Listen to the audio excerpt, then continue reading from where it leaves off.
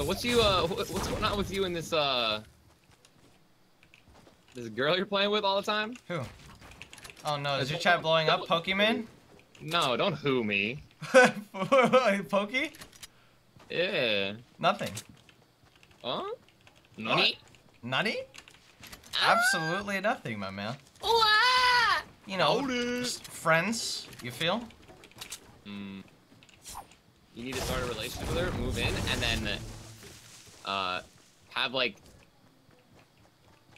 like stream schedules that kind of like overlap a little but also don't. Yeah? So that when so that when like she's free and when you're free, you guys can get food for one another and there's your food problem solved. Oh, yeah, that's perfect.